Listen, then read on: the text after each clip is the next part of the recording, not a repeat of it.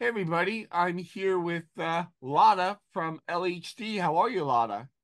Uh, fine, thank you. How are you? Very good. I'm very happy to have you here because uh, I tried to get what I think is your other band a couple of years ago. Would you mind Mhm. reminding people what band that is? Uh, it was the Bambi molesters. Yeah. Uh-huh. So why LHD? What it first, what does that stand for, and why did you decide to end Bambi Molester and start LHD? Yeah. Well, uh, the Bambi molesters came to a kind of a natural end.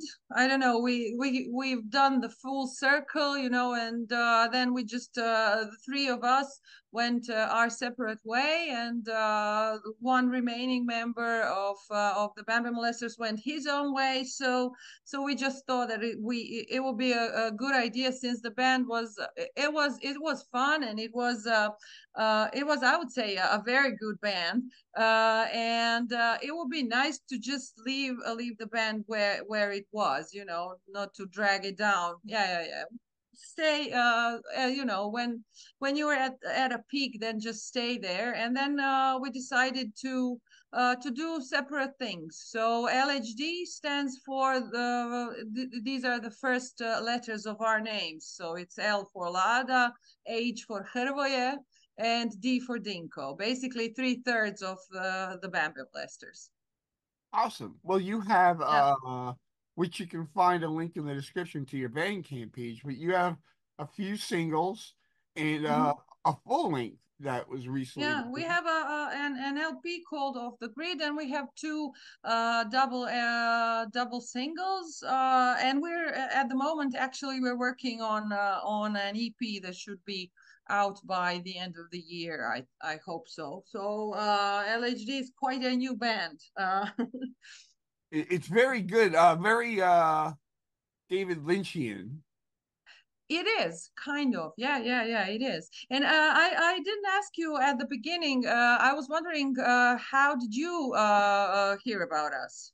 Well, um, like most things, uh, I follow a lot of uh, surf bands on uh. Instagram, which a Uh-huh. lot of bands seem to kind of live there now. Yeah. Mm-hmm. And then Jeff, uh, Big Tiki Dude, said, by the, Ah, okay. by the way, LHD is uh, members of the the Bambi Molesters. And I'm like, Yeah. oh God, I was trying to get them for a while, but I gotta Yeah, talk. yeah, yeah. Yeah, So yeah, yeah. Cool. how it happened. Mm-hmm. Yeah, yeah, yeah. Cool, cool. So other than the, other than the release, I want to let people know that you actually have a 12 inch. Um, did you release that yourselves? Uh, no, we have a record label. Uh, it's called Dirty Old Records. From Croatia. It's a punk, basically a punk, uh, uh, punk label. Uh, but it's uh, one of the the guys. Uh, the the guy who owns it is a great guy, and it's very easy to do business with him. It's like you know, uh, you agree on, upon something, shake hands, and then uh, he sticks to it, which is very rare nowadays uh, and uh, we decided we know we have known him for quite a long time, and then we decided uh, in this new band in LHD that we wanted to keep things simple. Uh, honest and simple, so that's why we uh, uh, we actually released it for uh, for Dirty Old Records. You should check them out. Uh, they have a Yeah, very very interesting catalog. Yeah, interesting. definitely. Um, so you're the first band that I ever had from Croatia. Uh, Okay. um, tell me what it's it's like there to, to be there, to live there, and also what the scene is like. Well, the scene is very diverse. I mean, uh, Croatia is a small country. When you think about the number of, of people uh, living here, it's uh, around 4 million, which is uh, not a lot, yeah, comparing to some big cities in, in Europe and uh, the USA. So the scene is diverse, uh, but you have uh, uh, only a couple of bands. Uh, when we talk about different genres, they are all here. You know, everything from from folk to to EDM to I don't know everything, heavy metal. You have everything, but only a couple of bands. So Yeah. uh, so the scene basically uh, is uh, is the scene uh, that's comprised of uh, of uh, bands from uh, neighboring countries also. Would you would you say uh, when I was young, Yeah. um, you used to hear stories like people would go out to see um, electronic music, and then the next Mhm. couple hours they'd go see like a, a rock band, and then Yeah. the next couple hours they'd see maybe some dub or reggae.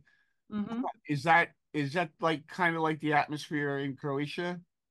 Well, well, yes, but isn't that the atmosphere all over the world now nowadays? No, Not here, not here. no. It's like Yeah. one one thing a night. Yeah, yeah, yeah. Okay, one thing.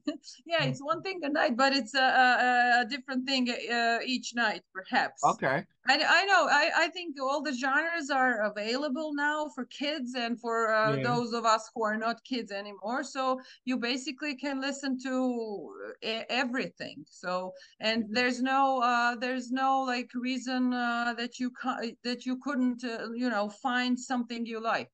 So so basically that's what I uh, what I like about uh, the the whole uh, the whole internet thing.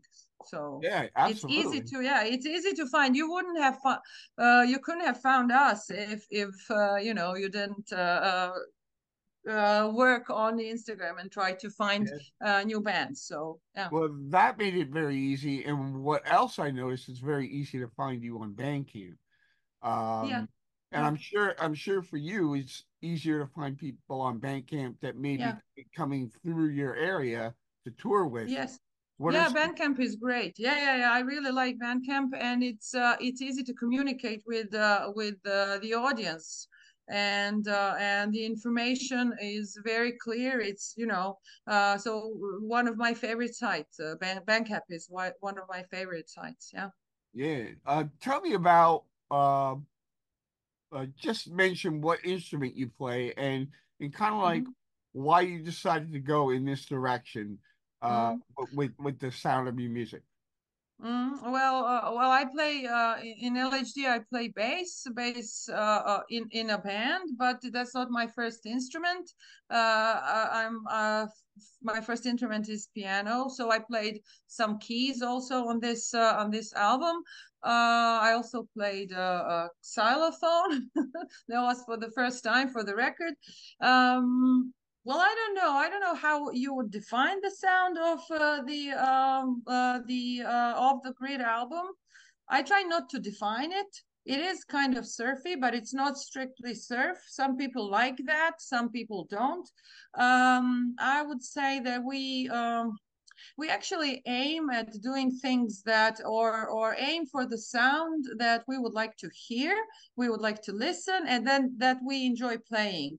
So uh being uh, being in a band for now more than well um, yeah 30 years almost yeah 30 years um not in this but in bands you know playing uh, uh i kind of think that it's um um it's mostly about uh, being creative and being in the moment. So you do things while you do them the best way you can, and uh, you try to enjoy while working on uh, on a certain song. Uh, and then uh, it turns out either uh, that's something you would like to listen or not. So hopefully, I I think I hope that we have li- like on the LP that we have like these ten songs that people would like to listen. Yeah, We sure do. I know, I know I did. Uh. Okay. I fell right into it. Although there was an intro that was kind of mellow, which I think might have had to do with the xylophone. I, I'm not I'm not sure. Uh Okay. it was it sounded different than the than the rest of the Okay. music. And my Uh-huh. my son was like, "What is this?" And, and I was like, "Oh no, this is a surf band." And then Yeah. you got you guys kicked in, and he was like, "Oh yeah, this is good." Yeah. He's 11 years old. Yeah. Yeah. So, um, what is your plans like? I don't know, sound wise to, or or writing wise. Yeah. Like, do you plan on evolving or expanding on on what you have now? Because what you have now Yeah. is is perfect. But like, Well, what the thank you. yeah yeah Thank you. Well, we're not, yeah, we're not, uh, we're not, um, making plans you know? What i've learned uh, in the uh, in the last couple of years is basically that you cannot plan anything you know uh, with all the things uh, going on in the world and and all that. You know you can make plans but no one says that uh, it's exactly what will happen. So uh, so we we don't make plans. We uh, we just stick to doing things that we uh, feel when we are playing, when we are working on a song, that we just feel uh, kind of uh, uh, right while doing it. So that's it. And I don't know, uh, uh, there are many genre influences in the music. Um, uh, I'm sure that you've heard them while you were listening to it, and I think it makes it interesting. Yeah, absolutely, absolutely. Yeah. So, yeah. tell me a little bit about um, some of the shows you have coming up and maybe some of the shows you'd like to play or some of the bands you'd be really interested like your uh have to bands like your bucket your bucket list. Yeah well uh, uh for uh, for people uh, who are surf fa- uh, fans and are in the usa i know that they know about uh, the surfer joe festival in livorno in italy. So we'll be playing that on the 24th uh, this month. Then we have uh, uh, in the near future, um, let me just check. Uh-huh. Okay, it's in Hungary, also a festival which is not a not like a genre festival, but but it's a big festival. It's called Fishing on Orfu. So we'll play that, and uh, then we have we we did uh, actually a lot of shows in um, this spring. Uh, so we took uh, some time off in uh, in uh, uh, July. So we'll see where the autumn takes us. So the plan is to actually record this weekend and the following the to record these new songs for these for the new EP. I, I, we would definitely like to play also the big tiki dudes festival. Yeah. So maybe that will happen. We've been talking about that for some time now. So I hope uh, that we can make that happen maybe next year. Uh, we'll see. We'll see. Awesome. Awesome. Uh, well, before we uh, before we head out, I just wanted to give you opportunity to say anything or maybe add something I hadn't talked about.